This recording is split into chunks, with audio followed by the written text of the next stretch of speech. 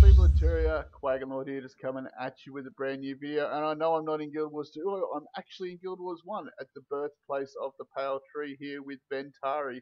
So I just wanted to remind you guys that it is less than 24 hours away from the Twitch stream where we'll be giving away not one but two legendary weapons plus a whole heap of other small giveaways as well, including minis, mats, and other little things. So don't forget to tune in.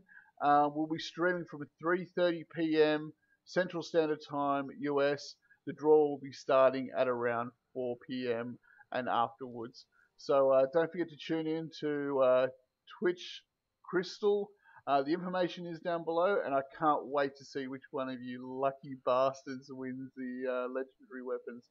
So uh, peace out, guys, and I'll catch you all in and around Tyria. Bye.